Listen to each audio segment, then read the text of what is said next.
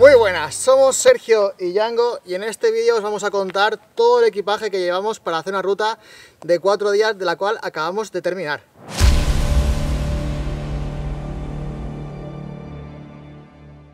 Desde las alforjas, bolsas de bikepacking, material para Yango, para mí, todo al completo. Bueno, él es Yango, tiene un año y medio y es un cruce entre Bull Terrier y Podenco. Y para él lo que llevo es un collar para la noche, para poder atarlo y que no se vaya por ahí. Y luego el arnés de, bike joring, esta correa elástica, para que no se haga daño en la, espalda. Este cordino que lo ato para ir a, mi lado. Lo tengo aquí con un mosquetón y él va justo aquí atado. Este bebedero plegable que lo llevo aquí fuera. Para la comida de Yango llevo un kilo de pienso ginkgo sin cereales de alta calidad y hecho a base de harina de insecto. Eh, eh, sí, ahí. Django, sí.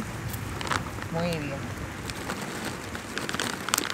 En este vídeo quiero explicaros en detalle el por qué llevo esta configuración y no otra, que he visto más cómodo de esta configuración que las que suelo llevar normalmente, qué llevo en cada alforja ahora mismo, ya estamos al final del viaje y esto ha ido cambiando poco a poco.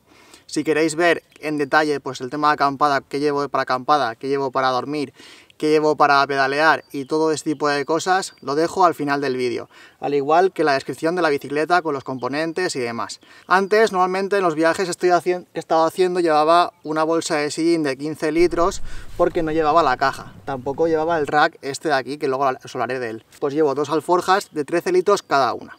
En total, en la bicicleta llevo unos 60 litros que se distribuyen más o menos en 13 por cada alforja 15 en el rulo de la bolsa de manillar con el arnés, 5 y medio por cada bolsa de horquilla, 5 litros y medio también por, por esta de aquí del cuadro y esta es un litro. Vamos, en total unos 60 litros. Y aquí llevo todo para ser autosuficiente durante 4 días, que es lo que hemos estado en esta ruta del Maestrazgo Loop. Vamos a ver ahora dentro de cada forja qué es lo que llevo. Empezamos por la bolsa horquilla derecha. Normalmente siempre llevo las mismas cosas en los mismos sitios. Aquí en la derecha llevo la cocina, para acordarme y si necesito buscar algo aquí dentro, pues que sepa que aquí está todo lo que es la cocina. Cocina, el trapo y el fogón. Cubiertos y un poco de frutos secos que me han sobrado. Izquierda, que están sujetas con estas cinchas de silicona, son de MyFix Plus, van muy bien para sujetar cualquier tipo de cosa. Una bolsa Orliev de 4 litros que está para cambiar porque me gotea desde hace mucho tiempo y nunca la cambio. Esta la utilizo tanto para ducharme como para almacenar agua a la última hora del día. Antes de, que, antes de ir a acampar, si encuentro una fuente, la lleno 4 litros y puedo ducharme, fregar, eh, cocinar, lo que sea. Y para filtrar agua también. Aquí llevo el, neceser botiquín, que os hablo también al final del, del vídeo de lo que llevo aquí dentro. Crema solar, que no la he utilizado y me he quemado los labios. Una toalla de microfibra, que, en realidad es un trapo. El filtro, que se conecta perfectamente en, este, en esta rosca. Y parte del desayuno, que también me ha sobrado algo de comida, porque ayer desayuné en un bar. Y unas barritas. En la alforja derecha trasera, bueno, trasera es la única alforja que llevo, aparte de llevar colgando el bebedero de, de Django, una gorra para el sol,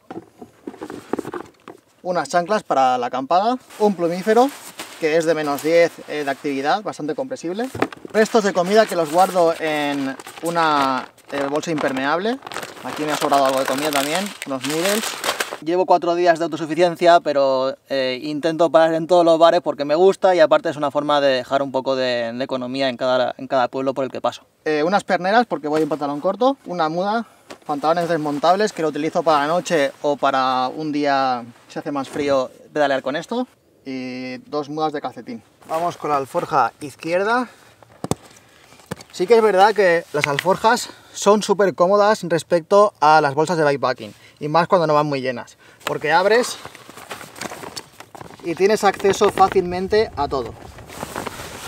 La chaqueta de, Django, baterías y tarjetas, cables, una braga, una mochila plegable, la ropa térmica para dormir, tanto pantalones como eh, parte de arriba, una power bank, forro polar y otra muda. Bueno, vamos con el cuadro de mandos. Aquí llevo la GoPro, normalmente aquí enganchada, Aquí en estas Fix Plus lo que meto es el trípode, que ahora mismo no lo llevo porque está, está utilizando, está en el suelo ahora mismo. Y luego tengo este GPS TuneUp Terra, que sirve tanto para bikepacking como para senderismo, eh, vamos, que es multiusos. Y me viene muy bien, nunca he utilizado GPS, pero me hace ahorrar muchísima batería. Eh, me ha durado dos días entera la batería, durante pedaleando casi 8 horas diarias. Fácil de utilizar, fácil de configurar y muy intuitivo toda la interfaz que, interface que tiene. Así que muy recomendable un GPS de este tipo que se ha dedicado, porque antes iba con el móvil y al final con el móvil eh, es un peligro, te puedes quedar tirado, que me ha pasado más de una vez. Así que llevo el GPS y luego como backup tengo también la ruta descargada del teléfono. Aquí tengo dos bebederos, dos botellas, esta de plástico de 700 y una de, acero inoxidable de un litro que me sirve también para calentar agua en caso de que quiera ducharme con agua caliente. Y aquí suelo sujetar las gafas y una navaja Lederman que está ahí. Vamos a ver, aquí dentro, dentro de esta bolsa de tubo superior, esta es de un litro, llevo el móvil, el mando del dron y el frontal, accesible y, fácil. Bien, en la bolsa de, de cuadro, lo que llevo en esta parte de aquí es papel higiénico, unas toallitas húmedas y un mechero. Y ya está, no llevo nada más por aquí. Aquí llevo la bolsa de herramientas, que al final del vídeo digo exactamente qué herramientas llevo. Y aquí una botella de alguien de plástico de litro y medio. Aquí en la parte derecha, que es donde está todo el volumen. Uy, me cargo el... Tengo un impermeable súper compresible, de bastante transpirable, que lo utilizo también de cortavientos. Y aquí llevo un teleobjetivo 70-300 de Sony y esto que es para proteger un poco el objetivo. En este invento de aquí lo que hago es poner el palo de la GoPro y lo saco si se puede y me grabo así. Y aparte le he enganchado una luz de Eltin por si acaso me tocará pedalear de noche, que no ha sido el caso en esta ruta. Esta bolsa de 15 litros es un rulo. Me gusta mucho porque tienes estos tirantes para sujetarla bien, pero tiene un velcro que ayuda a colocarla y ahora puedes soltar bien las cinchas. Entonces eso es una buena idea. Vamos a ver qué llevamos aquí dentro del rulaco de Geosmina. Aquí llevo todo lo que es la, acampada, bueno, el vivac, porque hemos hecho vivac, no llevamos tienda. Entonces llevo un tarp pequeñito, una esterilla hinchable Thermarest, la almohada el saco de dormir, que ya tiene más kilómetros que, nada. Y por aquí llevo otro tarp más grande, que lo utilizaría en caso de que quisiera taparme porque viene, va a llover, rocío, pues utilizaría de, lona de la parte de arriba. Bueno, un casco con una gorrilla para que me protege de quemarme la calva a través de las rejas y aparte me coge el sudor y es bastante buena idea, la verdad. Y para pedalear, los pantalones estos, abajo llevo un calzoncillo con badana la camisa típica porque es súper cómoda para protegerte del sol, se seca enseguida y también si vas por ahí puedes ir más o menos vestido. Y abajo llevo una de merino porque hoy hace un poquito más de frío. Pero si no, yo iría solamente o con la camisa o con la de merino. Se me olvidaba contar el volumen de esto. Aquí en esta riñonera lo que llevo es el dron. Llevaría aquí la cámara que está grabando y aquí el micro. Y aquí llevo un comunicador satelital por si me quedara sin cobertura, me perdiese, pasara algo. Y aquí un par de baterías, una para la cámara y otra para la GoPro. Aquí dentro suelo llevar el dinero, tarjetas y documentación. Y aquí el, no, las tarjetas las llevo aquí. Y dos cosas muy importantes que, llevo, pero no, bueno, que llevamos, pero no se ven, son los, los seguros. Django tiene seguro veterinario con Barkibú, que es un seguro que pagas anualmente, aunque puedes pagarlo a plazos. Tiene un montón de coberturas, creo que es la que más cubre de, toda España. Y está muy claro qué es lo que cubre y lo que no. Yo saqué un presupuesto para Django, me costaba unos 250 euros anuales más o menos. Ya he llevado dos sustos en poco tiempo. Primero tuvo una alergia, no sé de dónde, porque estábamos en la oficina y, le tuve una alergia súper fuerte. Y después le mordió un perro y le hizo una herida en la, oreja. Y haciendo este tipo de actividades siempre pueden pasar cosas y aparte de llevar un botiquín completo para él, un buen seguro creo que es interesante. Si os interesa, tenéis perro, gato o mascota, os dejo un link aquí abajo y con el código de descuento de Viajar en Roll tenéis hasta 25 euros de descuento. Otro seguro que es importante es el seguro de viajes. Ya si estás en España o si, sobre todo si estás fuera de España, es importante contratar un buen seguro de viajes que no tiene por qué ser caro. En Chapka tenéis un 7% de descuento utilizando el código de Viajar en Roll. Aparte son patrocinados del canal desde hace mucho tiempo y es una empresa muy seria.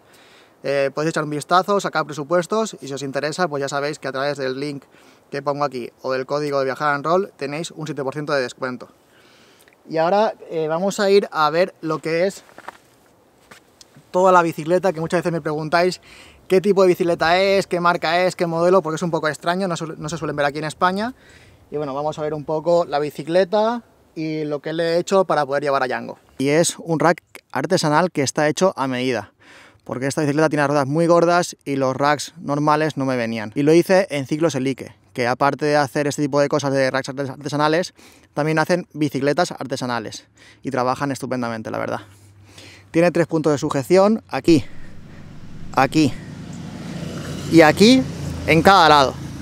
Detallitos, por ejemplo, como este tope para que no se salga la, alforja, o esto de aquí para, para poner unas luces o atar cualquier cosa. Como está hecho medida, pues se puede pedir lo que quieras. Y le dije que hiciera esta parte de aquí para colocar las alforjas y tiene aquí unos agujeros con rosca para atornillar directamente la caja. Entonces está directamente atornillada al rack con una espuma entre medias para que no haga ruido en las vibraciones. La caja es una gaveta número 58 de la marca Taig, y se puede conseguir por Amazon para un perro de entre 15 y 20 kilos como mucho. Bueno, vamos con la bicicleta ahora, que me preguntáis muchas veces qué tipo de bicicleta es, porque la verdad que no es un modelo que se vea mucho por aquí, por España. Bien, el modelo es una Surly Krampus Ops 29 Plus, y ya tiene unos añitos, pero bueno, tiene la horquilla fija, y en cuanto a desarrollos, tengo un 1146 detrás y un 30 de plato. El guiador es un Shimano XT y los frenos son Shimano SLX. El cuadro es de acero y tiene ruedas de 29 pulgadas y 2,6. Es un neumático muy grande y muy gordo, lo que hace que me dé un poquito de amortiguación al tener la horquilla fija. Las ruedas que llevo son, el neumático son unos Pirelli Scorpion, tubelizados, las llevo ya un par de años y la verdad que muy bien de momento. Sí que es verdad que creo que tengo que cambiarlas porque se me están rajando por los laterales. Y las llantas que llevo son muy anchas. No me acuerdo ahora mismo cuál era el, ancho que tenía, pero lo mínimo que puedo ponerle es 2,6. Y eso hace que vaya muy lastrado en, rutas como por ejemplo esta, el Maestrazgo Loop. Porque eh, hay asfalto y hay pistas de tierra que son bastante facilitas, bastante rápidas. Y con esta bicicleta, con estas ruedas, voy un poco lento de más. Pero bueno, es la bicicleta que tengo y sí que es verdad que se lo come todo, porque luego viene una trialera y la hago sin problemas y súper cómodo. Y hasta que no me llegue una gravel, pues de momento es lo que hay. La compré en Wallapop, ya lo dije hace tiempo, tengo ya como 4 o 5 años. Y lo único que le he hecho ha sido para el portabultos, tuvieron que soltarle aquí estas piezas para poder poner el portabultos. Y también le hice los ojales para poder colocar las cage de geosmina aquí directamente y no con abrazaderas metálicas. Ahora a continuación del vídeo voy a dejar en detalle agrupado por, cosas de acampada, de, de comidas, de, electrónica y demás, todo lo que llevo también. Por si aún nos interesa saber más en detalle, pues ahí está todo bien detallado. Y nada, yo voy a recoger todo este, este desastre, voy a meterlo en la furgoneta y nos vamos para casita a descansar, que muy poquito nos vamos a hacer el Camino de Cabalch en la isla de Menorca y en muy poquito va a salir documental de esta ruta que acabamos de hacer, el Maestrazgo Loop, 200 kilómetros y 4 días en autosuficiencia, Django que está ahí descansando y yo. Y espero que os guste y nada, nos vemos en el siguiente. Un abrazo familia. Para acampada, saco de dormir de menos 10, un tar pequeño para abajo, un tar grande para arriba y una chaqueta para Django. Vamos haciendo vivac. Una manga larga térmica, unas mallas térmicas, un gorro una braga, pantalones desmontables para cuando está acampado, una muda, otra muda, calcetines más gorditos, un forro polar y un par de chanclas. Para pedalear, una camisa de manga larga, una de manga corta de merino y una de manga larga térmica. Una badana, pantalón corto, perneras y calcetines de merino. Por si hace más frío o llueve, un plumífero, un impermeable muy compresible y si hace más calor, una gorra y una braga finita. En cuanto a la cocina, el gas, taza de titanio 750 mililitros, un estabilizador, el quemador, cubiertos de titanio, mechero, navaja, aceite, sal y especias. Y un trapo para limpiarlo todo bien. Para el agua llevo un litro de una botella de acero inoxidable, 700 en plástico, litro y medio en esta botella de plástico, un filtro y una bolsa de agua de 4 litros. Un neceser botiquín, aquí tengo la pasta de dientes, el cepillo de dientes, las lentillas y las gafas y aquí el botiquín con manta térmica y todo lo necesario. Toallitas húmedas, bolsas de caca para perros para tirar la basura y muy importante, papel higiénico. Y una toalla trapo de microfibra. Para navegar tengo un GPS TuneUp Terra, comunicador satelital, luces traseras, un frontal para la noche, cables y una power bank de 30.000 mAh. Una Sony A7 III con un 1635, un teleobjetivo 70-300, una GoPro, un dron DJI Mavic Air, baterías para todo, tarjetas, intervalómetro y un micro. Herramientas, tenemos la bolsa de herramientas, unas bridas, cordino, la bomba, una multiherramienta específica de bicicleta, una multiherramienta para encender fuego, una cámara aunque vamos con túbeles por si acaso, parches y un pito desmontables y un boli con cinta americana enrollado. Para Django llevo un collar, un, un arnés de tiro, una correa extensible para que tire haciendo bike jogging y un bebedero. Para la comida de Django llevo un kilo de pienso ginkgo sin cereales de alta calidad y hecho a base de harina de insectos. Para comer llevo comida deshidratada, latas, queso, barritas, chocolate, puré de frutas, frutos secos y para desayunar avena con muesli.